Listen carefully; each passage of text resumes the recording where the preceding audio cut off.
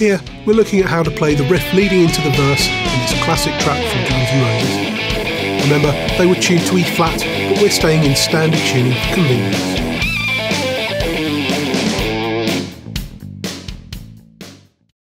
Start with an A5 power chord on the open 5th string and the second frets on the 3rd and 4th strings.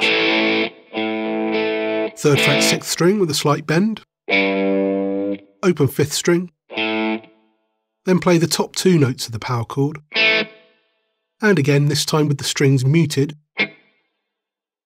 then play 3rd fret 6th string, 2nd fret, and finish on the open string.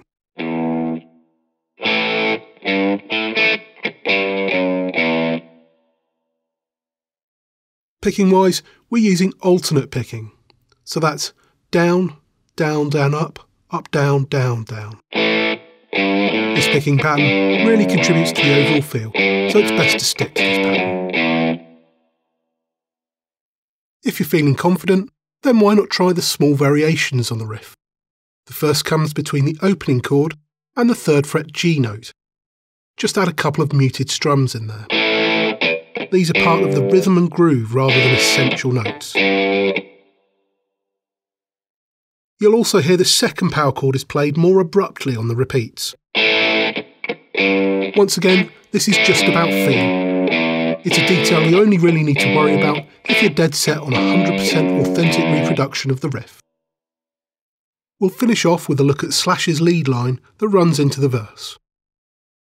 Play a bend on the third string from 7th fret to 9th and back down to 7th again. It's played with a pinched harmonic, but it's worth practicing that technique on its own.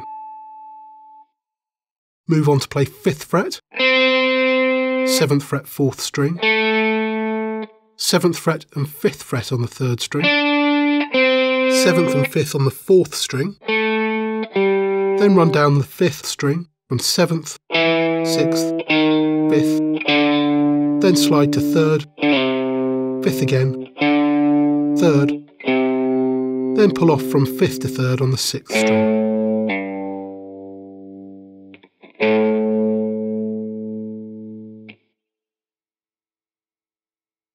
Apart from the slide and the pull off, every note is picked, so use alternate picking.